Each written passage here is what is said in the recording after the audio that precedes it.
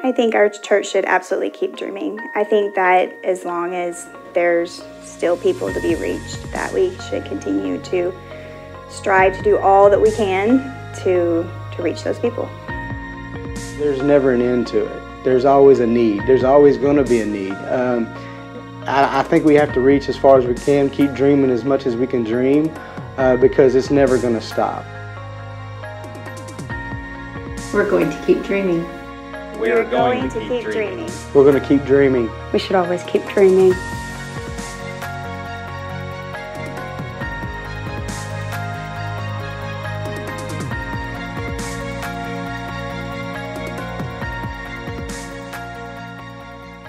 Hey, everybody, welcome to week one in this six week small group journey. It's actually coinciding at the same time with the largest vision initiative that we have ever undertaken in the history of our church. We're calling it the Unfinished Initiative. Something that is unfinished has more beauty to be unveiled, more mystery to be uncovered. Something that's unfinished is a restoration work in progress. Sounds a lot like our lives. They are under construction by His grace, they are unfinished. We, as His people, are an unfinished people. He's still working on us and He's still working in us.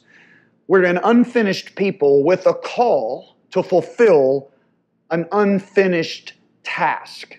The task of covering the earth with the glory of God and making sure every person under our influence, every person in this region, has an adequate witness of the gospel of Jesus Christ. That's the unfinished mission in our lives, in the life of this church. Now, I believe with all my heart, this journey has the potential to be deeply transformational for you. I believe with all of my heart, this journey has the potential to be a defining history making moment for Northplace Church. That's why I want to ask you to make a commitment right now to be in every one of these weekend experiences when I'll be preaching on the life of Abraham. And then I want to make I want to ask you to make a commitment to be in every one of these small groups. We're going deep into a topic every week that is going to be transformational. Our entire journey is going to culminate 6 weeks in on November the 10th. We're going to do something we haven't done in a long time. We're going to bring all of our services together into one incredible celebration in the Curtis Culwell Center. So just save the date, mark that down. Those of you that have been with us for a while will know there have been some history making, defining moments at Northplace in that arena. It's been a long time since we've been in there, but every time we've gone in there for strategic moments, it's as if God took us as a people from here to there. There was less of us and more of Him. And that's what we're going to do. We're going to go back into that arena on November the 10th and renew our surrender to Him and re up our commitment to finish the unfinished task in our generation. Now, let me just open this small group session with prayer. There's some specific things I believe that God wants to do, and let me ask Him to do them. Father, there are people gathered watching this video in coffee shops and in their break rooms at work and living rooms and some in breakout areas at the church. And regardless of wherever they may be right now, what I'm asking you to do is help us hear the divine call to leave an eternal legacy. And I pray you give us practical keys to know how to do that. Change us, change our church, position us to reach the furthest and make the greatest impact we have ever made. I pray in Jesus' name. Amen. The most influential person in my life outside of Jesus is probably Abraham. His journey, I've read more books about Abraham, probably spent more time studying the life of Abraham. His journey of legacy, leaving a legacy, his a life of trust and, and un, uncommon obedience, um, his faith, his honor, surrender, the transformation that took place in his life, all the things about Abraham, those things and a whole lot of others have been key components that have defined my spiritual journey. And I really believe because of that, and because I teach a lot on Abraham, uh, his journey has defined the culture and the DNA of this church. But I don't know that I've ever spent a consistent period of time saying, we're just going to study Abraham's life. I just drop pieces here and there because of his influence in my life. So I, I, I want us to spend some time learning from Father Abraham. In this weekend sermon, I focused on the call of Abraham's life. And when I say call, my fear is that somebody's going to hear that word call in our belief system and they're going to hear call to ministry, call to missions, call to be a vocational preacher. That, that, that's, not, that's not what I'm referring to. Abraham's call was a very personal call to relationship. God called out to Abraham and called him into a very deep personal and intimate encounter with Him. And I believe it's the same call that many of us have heard and responded to. It was a, I said this weekend, a powerful call, a radical call, a very personal call. I talked about the difference between the Christian life being an adventure and a quest. I never really thought about it until I was preparing for this message, but and I'm not going to go all back into it, but I really would like to bring it back up in this series here tonight because I want you to think about it deeply. Most of us, yeah, sure, in the general sense, the Christian life is a great adventure, but in the technical sense of the word, if you look at it in a literary sense, from an author's perspective, an adventure is something for children's books. A character goes on an adventure, they come back from the adventure, and they just pick up their life where they left it. But in a quest, you don't choose the quest. The quest chooses you. You are the chosen one to fulfill the quest. It's the difference between The Hobbit, if you're a reader, and the Lord of the Rings trilogy. The Hobbit is, a que- uh, is an adventure. The Hobbit goes on an adventure, he comes back, picks up his life until the next adventure. That's the book. But it's a children's story. But a quest is something that you are chosen for and you might die in the process of fulfilling the obligation of the quest. But even if you don't die, you never really come back. And when you do come back, you're a different person. So the same you that left is not the person that comes back. In essence, the Christianity journey is not an adventure. You don't just kind of go out and have a little Christian adventure and then come back and pick up your old life. The Christian journey is a, is a quest. It chooses you. In the, in the scriptures, you, the Lord said, You didn't choose me, I chose you. He, he's been pursuing you since before you even had the sense to know He wanted a relationship with you, and He chose you for a quest to live your life to make a difference. I, uh, I want you to think about, you know, this is what I, I regret. I, I wish I could be physically present in every meeting right now, every, every coffee shop watching this, every, um, every living room. I, wish I could be in all those places and actually personally lead the groups. Obviously, physically, that I can't do that. I'm limited. That's this is the next best thing. But if I was hosting your group right now, this is what I would do. I would I would either make a note and at the end of the video come back and have this conversation or host you have the prerogative whatever works best for your group you can push pause right now and just kick around this difference between an adventure how christianity is more like a quest than it is an adventure. And I would love for you guys to talk about it. You can push pause, talk about it now, or just make a note and come back and in your discussion at the end of the video, come back and just dive deep into that for a few moments in your conversation. This weekend, I focused on the call of Abraham, but in this session of the small group, I really want to focus on the legacy of Abraham. The, the topic this weekend was the divine call to leave an eternal impact. So the weekend sermon was more about the call. The small group session is more about the legacy.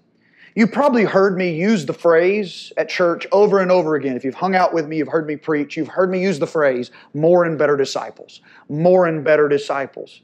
That's the eternal legacy that God has called every Christian to leave that's the eternal mandate that God has given every local church. Go make more and better disciples.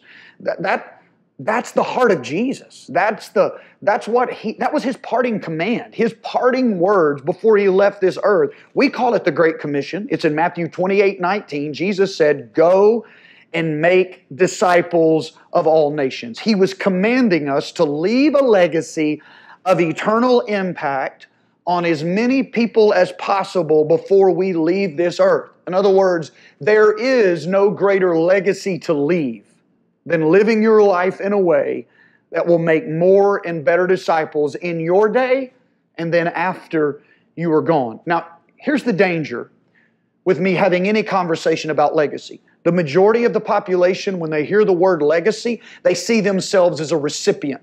They automatically start thinking about the kind of legacy they receive.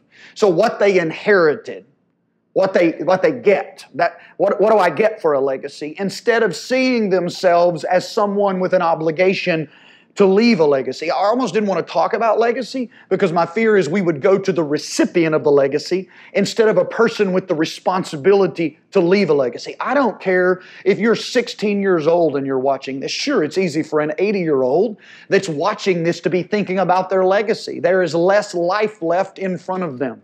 But I'm challenging all of us, regardless of how young or old we may be, to begin calibrating our lives around the concept of legacy. When most of us think about legacy in our culture, we think about a philanthropist. We've seen the buildings that are named after people a library, a museum, a hospital.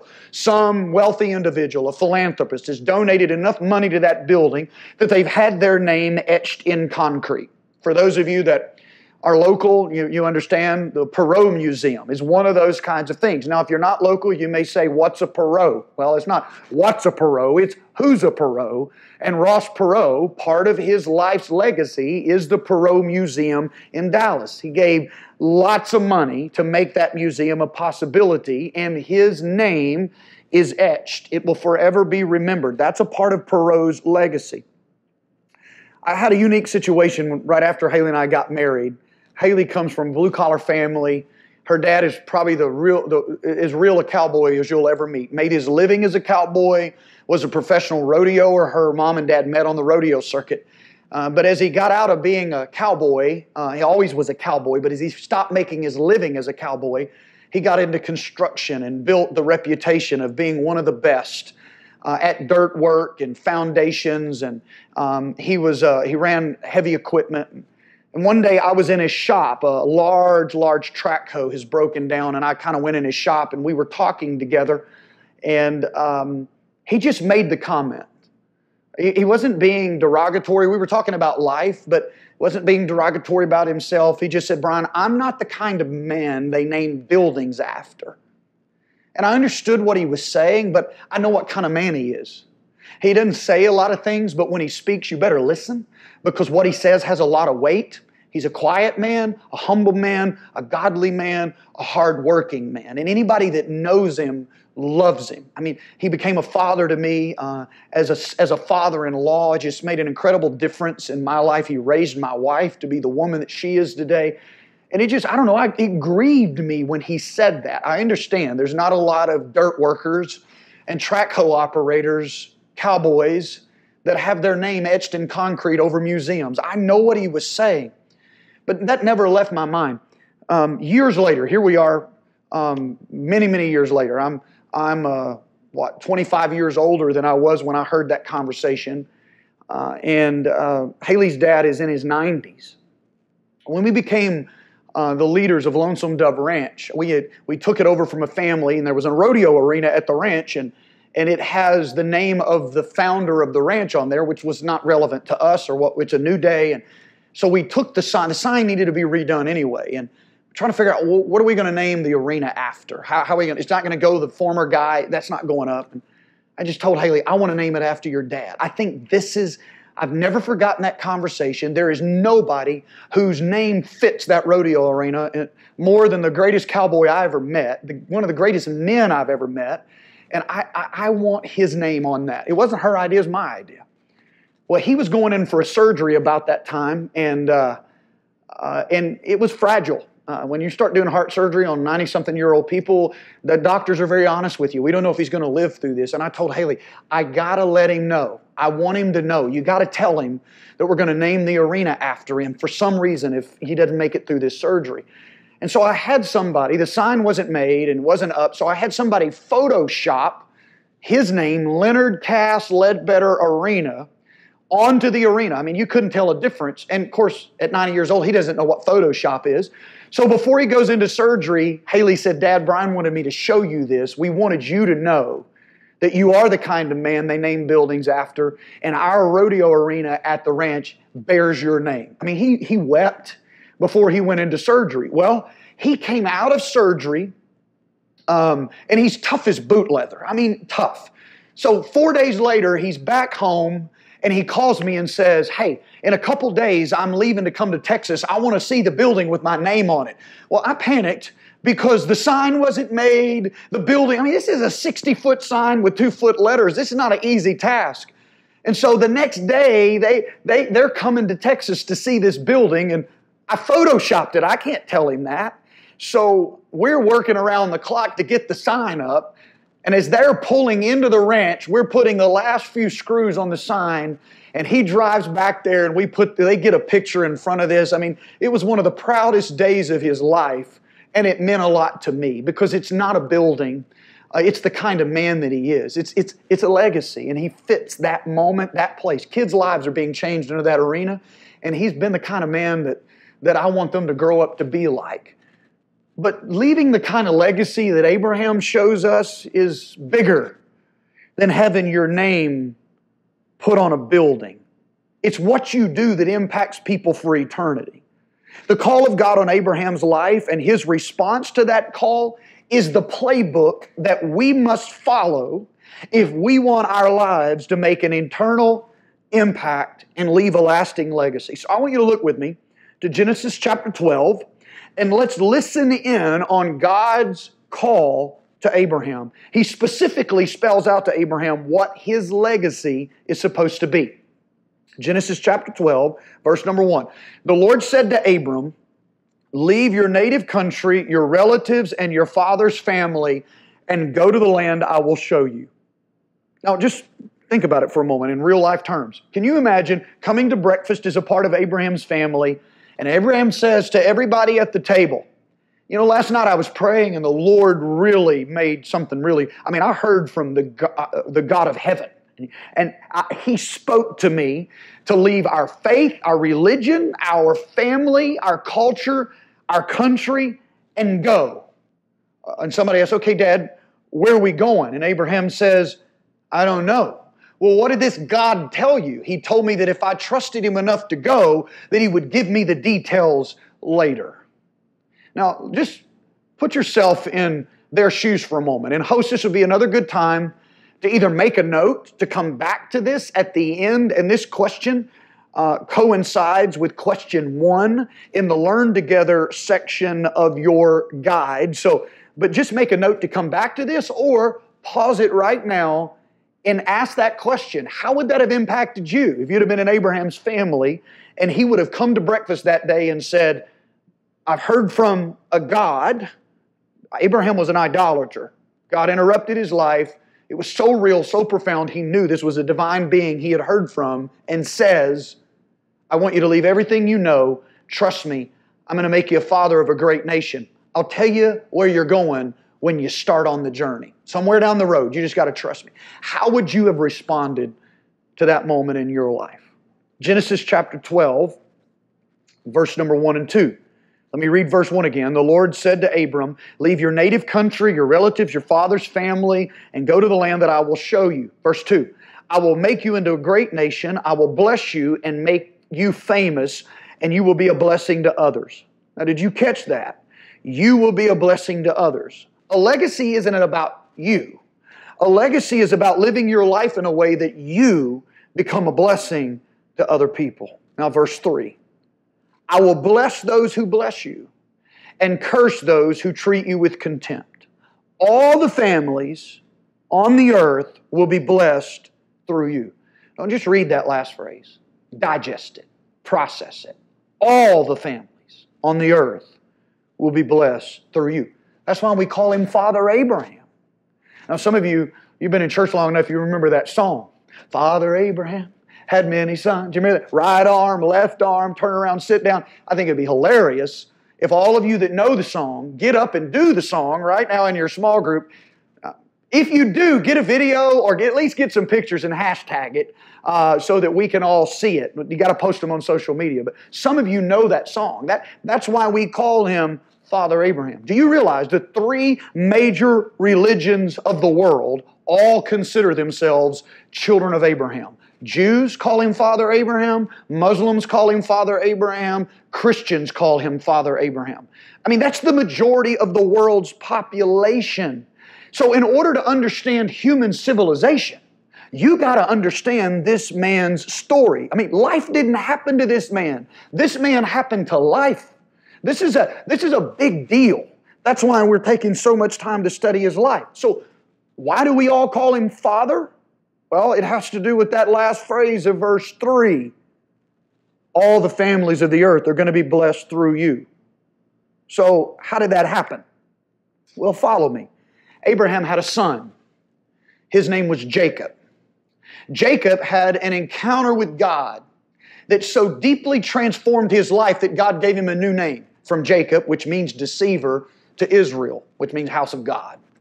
So Israel has 12 sons, and those 12 sons become the 12 tribes of Israel. And out of one of those sons, Judah, comes the lion of Judah, Jesus.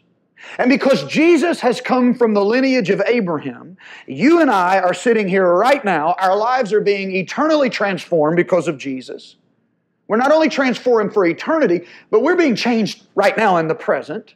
We're studying the Word of God together thousands of years later because we are all a part of Abraham's eternal legacy. Every time somebody gives their heart to Jesus somewhere in the world, God is keeping His promise to Abraham. All the families of the earth are being blessed through him. Every time someone gives their life to Christ, it is adding to Abraham's eternal legacy. Since long before our kids were even born, we were praying over them. And all of our lives, we have prayed over them, their lives, we've prayed over them that our legacy of faith would live on and be expanded in the lives of our three kids. We believe that's our call as a parent. And it's not just in our parenting, everything we do. Everything we give our time to, everything we give our gifts, talents to, everything we give our finances to are all a part of the legacy that we're leaving. And the older I get, the more I think about how I'm living now is going to impact generations after I'm gone. What am I leaving behind me that is going to live past me? What is going to matter after I'm gone? What is going to make an eternal difference? Your life changes. Everything changes. The way you manage time, the way you manage money, the way you manage your life. Everything changes when your life is calibrated around the end, and even more when your life is calibrated around eternity. You will leave a greater legacy when you live with the end in mind. You will leave an even greater legacy when you live with eternity in mind. Do you realize that the platform, not just my platform for ministry, but my platform for life, the platform I live on, the platform I preach on, is all on the shoulders of somebody else. My, my grandfather stepped into my life and became the father he didn't have to be. He modeled life for me. He modeled my whole life is built on the it's the platform built on his shoulders. I'm standing taller because I'm standing on his shoulders. As the pastor of this church, when I preach on this platform, I'm standing on the shoulders of every person that has gone before me. And you often hear me talk about Oscar and Lenny Rowland, two people that kept the doors of this church open when it ran 10 people, 12 people. They wanted to shut the doors, and Oscar kept mowing the yard, kept paying the light bill when they didn't have a preacher. He wasn't a preacher. He taught the Sunday school, led the worship, and gave the sermon just to keep the doors open. We wouldn't be here today if people like Oscar and Lenny and a host of others that joined them through the years had not given us their shoulders for us to now have a platform to stand on. I don't want my legacy to be about me. Like Abraham, I want my legacy to be about others. My grandpa's legacy was about others. Oscar and Lenny's legacy has been about others. I want to invest my life in the next generation because I want my ceiling to become their floor. Do you understand that? I, want them, because I lived, because I gave, because I served, I want them to be bigger, better, stronger because of the way I lived my life, the choices that I made, how I invested in them. I want my highest reach to be their lowest place. My ceiling becomes their floor. You're somebody that is leaving a spiritual legacy. Somebody gave their shoulders for you, and now it's our turn.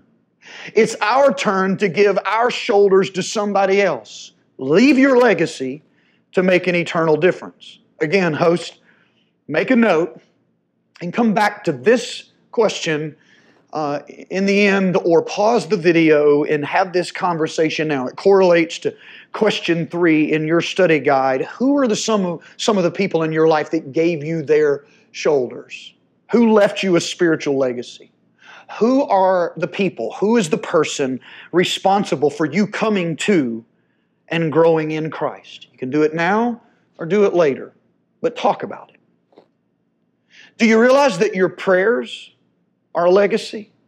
Every prayer you pray is a part of the legacy that you leave. Your prayers don't die when you do. Your prayers outlive you and they outlast you. There is no expiration date on prayer. My grandfather died.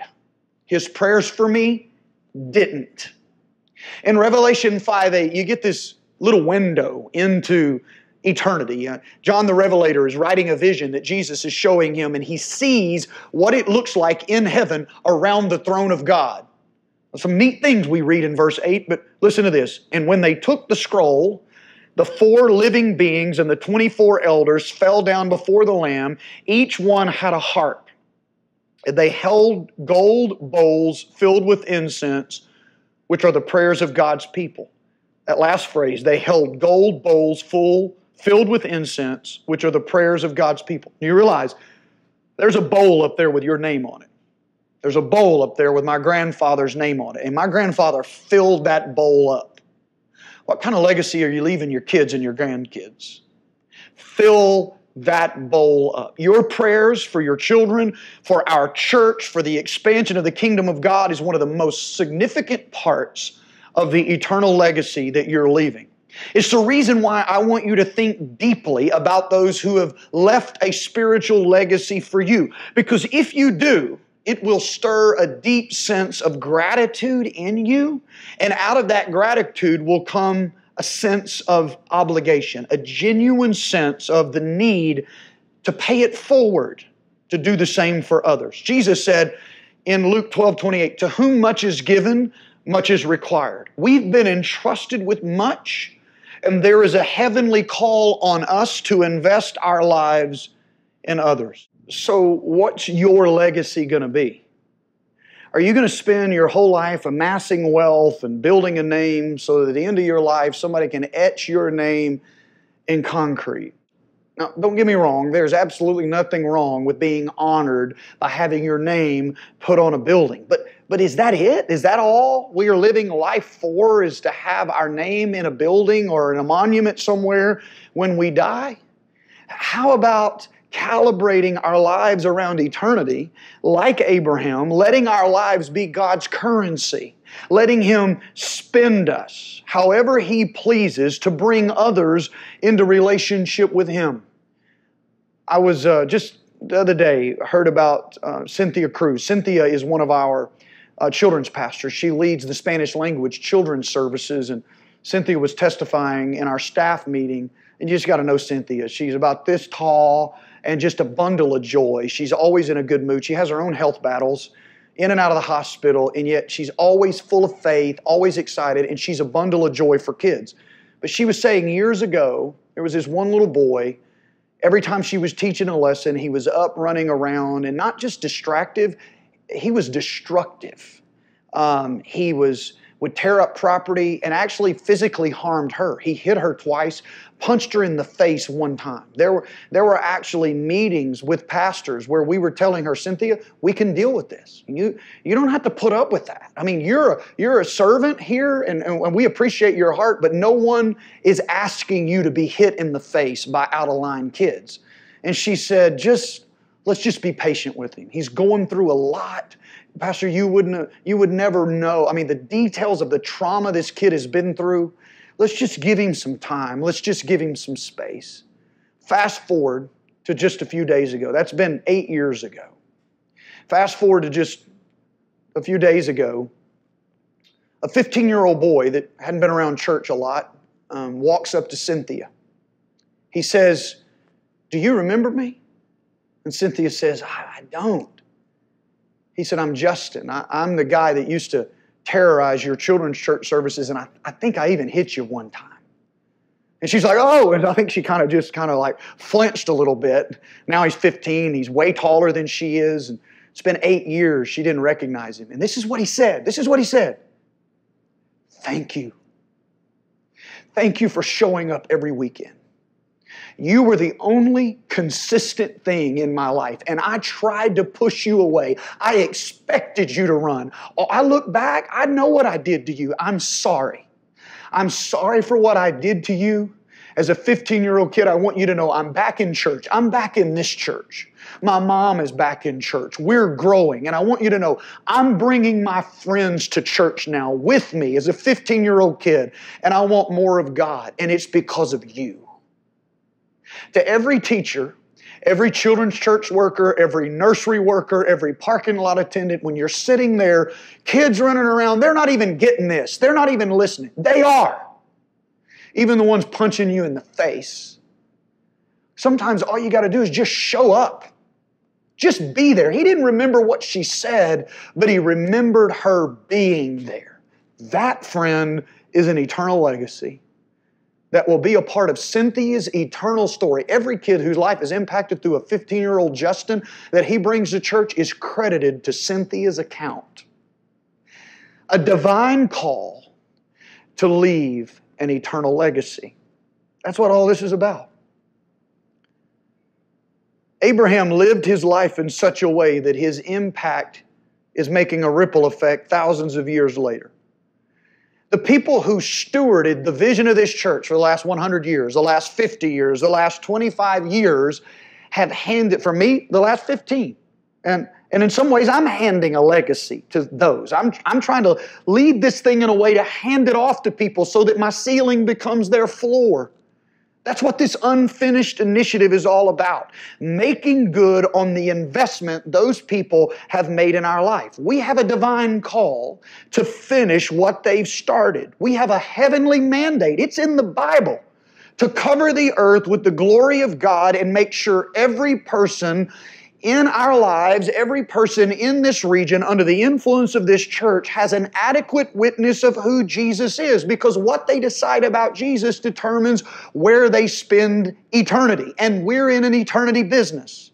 We owe it to those who have gone before us, who gave their lives for this unfinished mission. We owe it to them to do everything in our power, serve radically, surrender completely, give extravagantly to finish what they started. I can't do everything, but I have certain gifts. I can do my part to leave a legacy that will make an eternal impact in people's lives.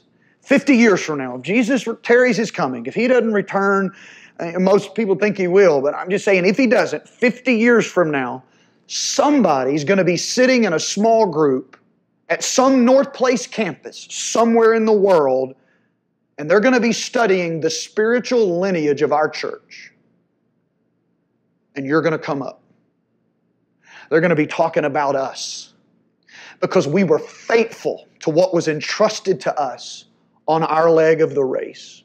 We're positioning ourselves now to be a part of their conversation 50 years from now. Abraham's legacy wasn't about him.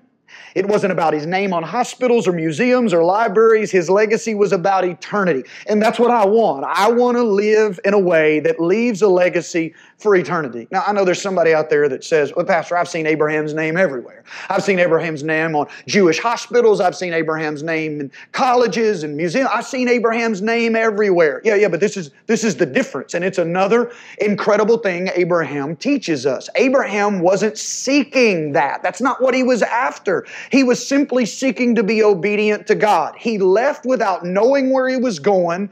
He just committed to trust in a God who promised to keep his word. This is the principle. If you seek blessing, you'll end up empty. If you seek to be a blessing, you'll end up full. God blesses those who commit to be a blessing to others. He said, Abraham, I'm going to bless you to bless others. If you seek a blessing, you're going to end up empty. If you live your life to be a blessing for other people, God is always going to be present and you're going to live a full and satisfied life.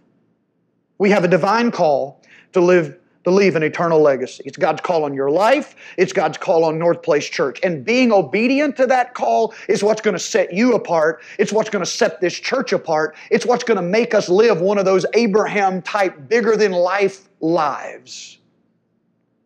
We have a divine call to leave an eternal legacy for the next generation, for the poor, in the prisons, for the orphan, in the urban centers, in rural communities around the globe, and among our suburban neighbors. We've always been about leaving a spiritual legacy among the uninvited and the forgotten. It's who we are, it's just what we do, and it's what we're walking out in the next few weeks.